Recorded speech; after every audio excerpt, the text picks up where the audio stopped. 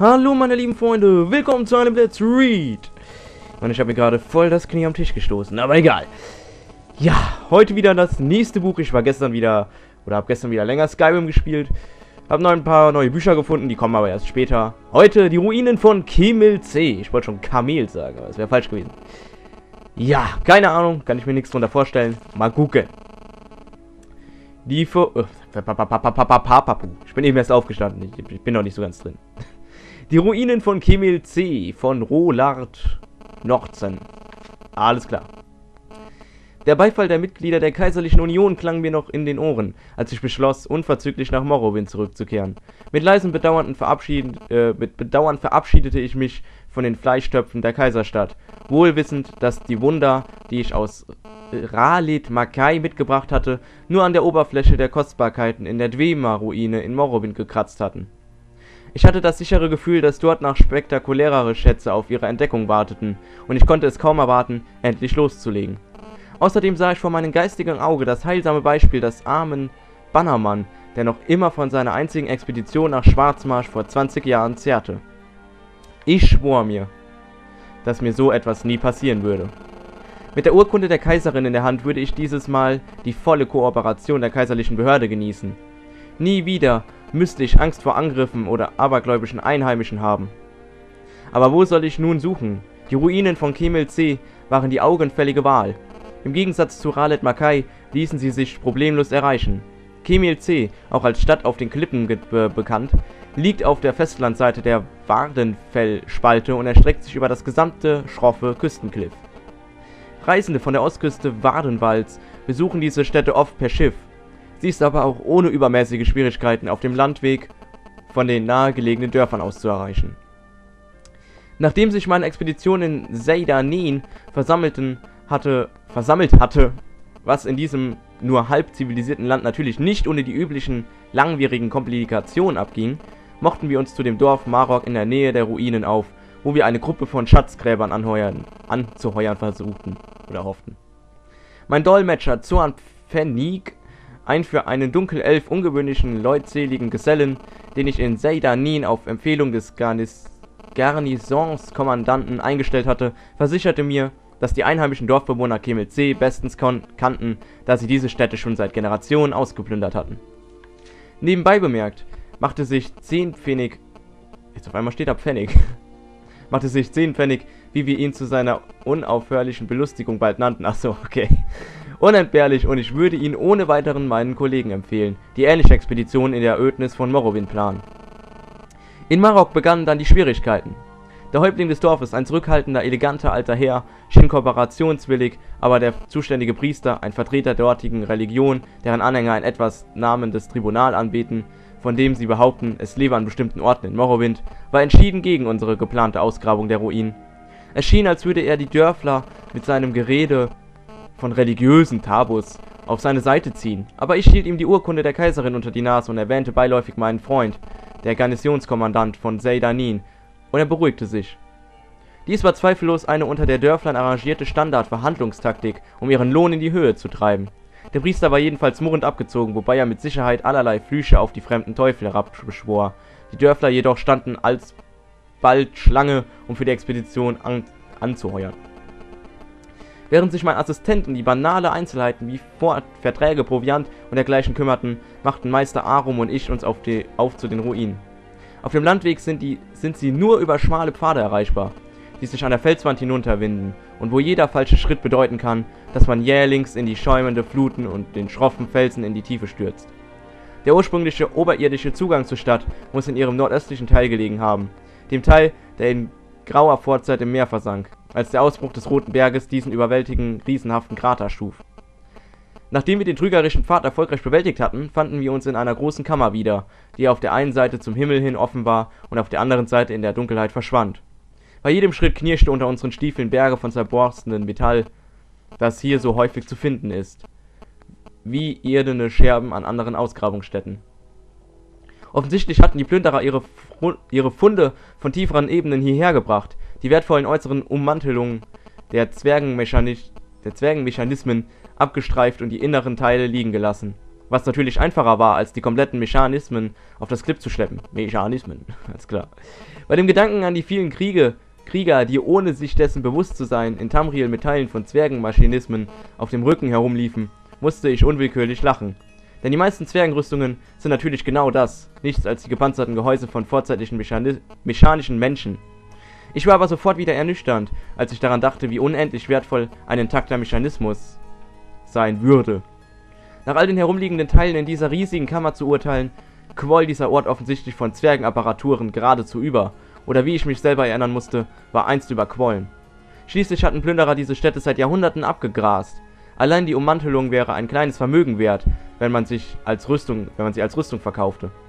Die meisten Zwergenrüstungen bestehen aus schlecht sitzenden Teilen von verschiedenen Apparaturen, weshalb sie als sperrig und plump verrufen sind. Ein kompletter und daher gut sitzender Bausatz eines intakten Mechanismus wäre nicht mit Gold aufzuwiegen, denn dann würden alle Teile nahtlos ineinander passen und der Träger würde ihre Maßigkeit kaum bemerken. Selbstverständlich hegte ich keinerlei Absichten, meine Funde wegen der Rüstungen zu zerstören, ganz gleich wie wertvoll sie auch sein mochten. Ich würde sie der Union zu wissenschaftlichen Studien zur Verfügung stellen. Ich stelle mir die erstaunlichen Ausrufe meiner Kollegen vor, wenn ich meine Funde bei meinem nächsten Vortrag enthülle, und musste wieder lächeln. Ich hob ein weggeworfenes Teil von den Haufen zu meinen Füßen auf. Es glänzte noch wie nagelneu. Der Zahn der Zeit kann den Legierungen der Zwerge praktisch nichts anhaben. Ich hätte gerne gewusst, welche Geheimnisse sich noch in den Gewirr von Kammern vor mir verbargen. Den Zugriff der Plünderer trotzdem nur darauf wartend, wieder im Licht zu glänzen, das sie seit Ewigkeiten nicht mehr gesehen hatten, auf mich wartend. Ich musste sie nur noch finden. Ich winkte Meister Arum, ungeduldig zu mir zu folgen, und eilte mit großen Schritten in die Dunkelheit. Meister Arum, Zehnpfennig und ich erforschten mehrere Tage lang die Ruinen, während meine Assistenten oben auf dem Cliff ein Lager errichteten und Proviant und Ausrüstung vom Dorf herbeischafften. Ich suchte eine vielversprechende Stelle, an der ich meine Ausgrabungen beginnen konnte. Einen von Plünderern unberührten zugeschütteten Durchlass oder Korridor, der mich zu unerforschten Städten in den Ruinen führen würde. Ziemlich zu Anfang fanden wir zwei solche Stellen, entdeckt aber alsbald, dass zahlreiche gewunderte Gänge die Blockierungen umgingen und den Zugang zu den dahinterliegenden Kammern freigaben. Dennoch waren auch diese äußeren, von Generationen von Plünderern ihrer Artefakte beraubten Bereiche für einen Berufsarchäologen von größtem Interesse. Hinter einer massiven bronzenen Tür, die einen Schluck, Schluck auf der Erde in grauer Vorzeit von ihrem Scharnieren abgesprengt hatte, entdeckten wir eine große Kammer, voll mit exquisiten Wandschnitzereien, die selbst der abgebrühte Zehnpfennig beeindruckte, der behauptete, jede Zwergenruine in Morrowind erforscht zu haben. Sie schien ein altes Ritual darzustellen, an dem Seitenwände schritt eine lange Reihe von Zwergenstammeltesten mit ihren klassischen Bärten in eine Prozession hinab, und sie alle verneigten sich offensichtlich vor der riesigen Gestalt eines Gottes, die in der vordernden Wand der Kammer gemeißelt war und gerade in eine Wolke aus Rauch oder Dampf dem Krater eines Berges entstieg Meister Arum zufolge gibt es keine bekannten Abbildungen von religiösen Zwergenritualen, und somit war dies in der Tat ein faszinierender Fund. Eine meiner, eine meiner Gruppen machte sich daran, die geschnitzten Tafeln von der Wand zu hebeln, aber sie konnte nicht einmal die Oberfläche durchbrechen. Bei näherer Betrachtung stellte sich heraus, dass die Kammer offenbar mit einer steinartigen metallischen Substanz ausgegliedert war, die für unsere Werkzeuge undurchdringlich war. Ich erwog Meister Arum zu bitten, seine Magie an den Wänden auszuprobieren, entschied mich aber dagegen, weil die Gefahr zu groß war, die Schrifts die Schnitzarbeiten dabei zu zerstören. So gern ich diese Schnitzereien in die Kaiserstadt mitgenommen hätte, ich musste mich damit begnügen, Abdrücke anzufertigen. Sollten die anderen Mitglieder der Gesellschaft genug Interesse zeigen, ließe sich sicherlich ein Spezialist, vielleicht ein Meisteralchemist auftreiben, der einen Weg finden konnte, die Tafeln gefahrlos zu lösen. Am oberen Ende einer langen Wendeltreppe, die wegen der von, den, von der Decke fallenden Schutz kaum passierbar war, fand ich einen weiteren merkwürdigen Raum. Es handelte sich um eine kuppelförmige Kammer mit einem großen zerborsteten Mechanismus in der Mitte. An der Oberfläche der Kuppel waren stellenweise noch aufgemalte Sternbilder zu sehen. Meister Arum und ich waren uns einig, dass es sich um eine Art Observatorium handelte, aber man musste aber haben was was Entschuldigung eine Art Observatorium gehandelt haben musste, und der Mechanismus war demnach das, was noch von einem Zwergenteleskop übrig war. Um es aus dem Ruin über die schmale Treppe fortzuschaffen, hätte man es komplett auseinandernehmen müssen. Sicherlich war es zu diesem Umstand zu verdanken, dass es der Aufmerksamkeit der Plünderer entgangen war, weshalb ich beschloss, es vorläufig dort zu lassen. Die Existenz dieses Observatoriums ließ jedoch vermuten, dass dieser Raum einstmals oberirdisch gelegen war. Eine genauere Prüfung der Bauart offenbarte, dass es sich tatsächlich um ein Gebäude und nicht um eine freigelegene Kammer handelte. Die einzige anderen Ausgänge aus dem Raum waren vollständig blockiert und sorgfältige Messungen von der Spitze des Cliffs zum Eingangsraum und weiter zum Observatorium zeigten, dass wir uns immer noch gut 80 Meter unterhalb der derzeitigen Oberfläche befanden. Eine ernüchternde Erinnerung an die vergessene Wutanfälle des Roten Berges. Dank dieser Entdeckung lenkten wir unsere Aufmerksamkeit jetzt in die Tiefe. Da wir nun ungefähr wussten, wo die alte Ober Erdoberfläche lag, konnten wir viele der oberen blockierten Passagen ausschließen. Insbesondere zog eine breite, eindrucksvoll von geschnitzten Säulen flankierte Passage meine Aufmerksamkeit auf sich. Sie endete an einer massiven Steinlawine, aber wir konnten sehen, wo Plünderer einen Tunnel durch den Schutt zu graben begonnen, aber dann offensichtlich wieder aufgegeben hatten. Ich war überzeugt, dass wir mit Hilfe einer Gruppe von Gräbern und Meister Arums Magie erfolgreich sein könnten, wo unsere Vorgänger gescheitert waren. Und so ließ sich meine Dunkelelfen mit den Räumen der Passage beginnen, erleichtert, dass diese wahre Erforschung von Kemil C. endlich beginnen konnte. Bald, so hoffte ich, würde meine Stiefel Staub aufwirbeln, der seit undenklicher Zeit ungerührt geblieben war. Angesichts dieser aufregenden Aussichten trieb ich meine Gräber eventuell ein bisschen zu heftig an. Zehnpfennig berichtete, dass sie wegen der langen Arbeitstage zu murren begannen und dass einige etwas von Aufhören fasselten. Da mir aus Erfahrung bekannt war, dass das beste Mittel zur Motivierung dieser Dunkelelfen die Bekanntschaft mit der Peitsche war, ließ ich die Rädelsführer auspeitschen und den Rest in den Ruinen fortsetzen, bis sie mit der Räumung der Passage fertig waren. Räumung, Entschuldigung. Ich dankte Stendar für meine weise Voraussicht, ein paar Legionäre aus Daidanin rekrutiert zu haben. Anfangs waren sie träge, aber das Versprechen eines zusätzlichen Tageslohns als Belohnung für den Durchbruch brach sie alsbald dazu, sich mit Nachdruck in die Arbeit zu stürzen. Diese Maßnahmen mögen in den Ohren meiner Leser im Schoß der Zivilisation harsch klingen, aber ich versichere euch, dass es keinen anderen Weg gibt, um diese Leute bei Stange zu halten. Kurz mal anders hinsetzen, Entschuldigung. Die Blockade war weitaus schlimmer, als ich zunächst angenommen hatte, und am anderen Ende dauerte es fast zwei Wochen, bis die Passage geräumt war. Die Gräber waren ebenso aufgeregt wie ich, als ihre Hacken endlich am anderen Ende des letzten Schuttrests durchbrachen und ins Leere trafen.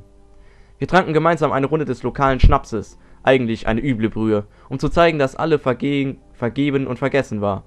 Ich konnte meinen Eifer kaum zügeln, während sie das Loch vergrößerten, so dass man die dahinterliegende Kammer betreten konnte.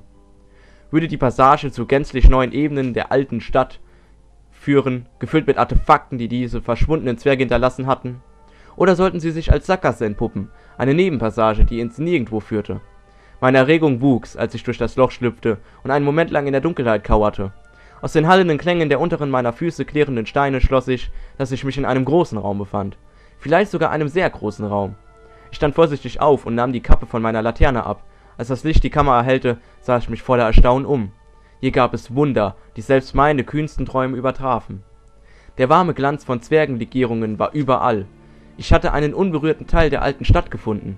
Mit vor Erregung hämmernden Herzen sah ich mich um. Der Raum war riesig, die Decke schwang sich in die Dunkelheit jenseits der Reichweite meiner Lampe auf, das andere Ende verlor sich im Schatten, wo nur noch ein verführerischer Schimmer die bislang unentdeckten Schätze erahnen ließ.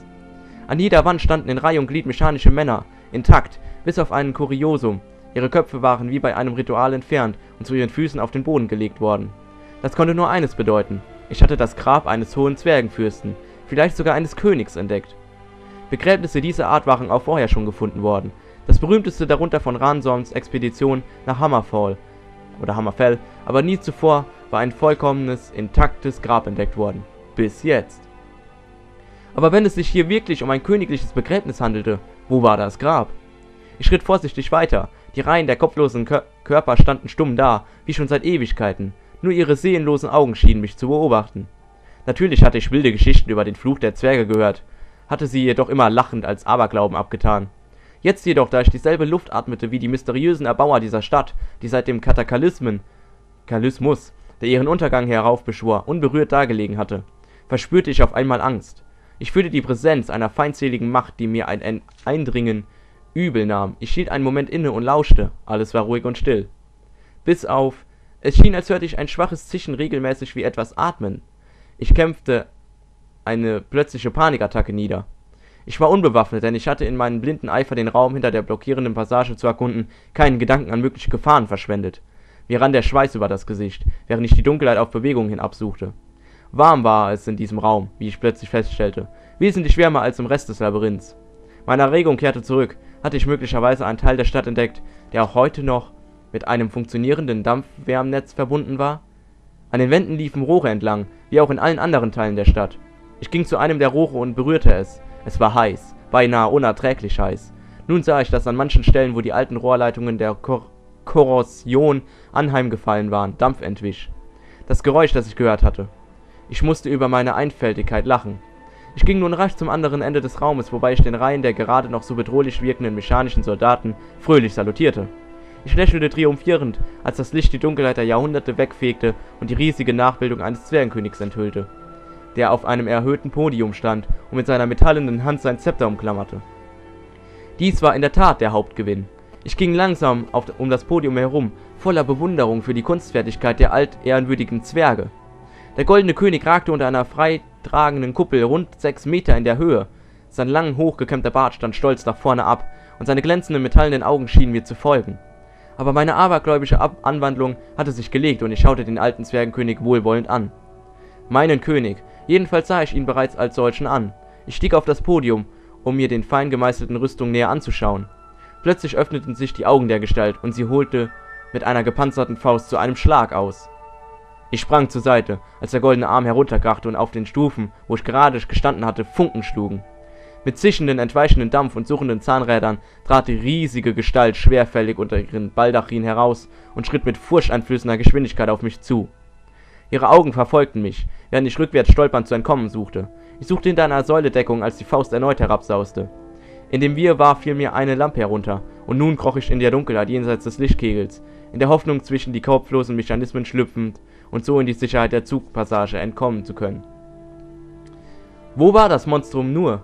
Man sollte, mein, man sollte meinen, dass ein sechs Meter großer König kaum zu übersehen sein durfte, aber er ließ sich nirgendwo erblicken. Die tropfende Lampe vermochte lediglich einen kleinen Teil des Raumes zu erhellen. Er konnte überall in der Dunkelheit lauern. Ich kroch schneller voran. Ohne jede Warnung, ohne jene Warnung stoben die verschwommenen Reihen der Zwergensoldaten plötzlich vor mir auseinander, während sich der monströse Wächterdrohn vor mir aufbaute. Er hatte mir den Fluchtweg abgeschnitten. Ich versuchte den unaufhörlichen herabsausenden Schlägen der mir unerbittlich folgenden Maschine rückwärts zu entkommen und geriet dabei in die entfernteste Ecke des Raumes. Von hier gab es keinen drinnen mehr. Ich stand mit dem Rücken zur Wand. Ich sah zu meinem Gegner hinauf, entschlossen im Stehen zu sterben. Die riesigen Fäuste hoben sich für den letzten Schlag.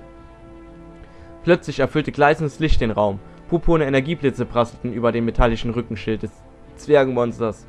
Es hielt inne und drehte sich halb nach dieser neuen Bedrohung um. Meister Arum war gekommen. Ich wollte gerade einen Freudenschrei ausstoßen, als sich die riesige Gestalt wieder mir zuwandte. Unversehrt von Meister Arums Blitzstrahl entschlossen diese ersten Eindringlinge zu vernichten.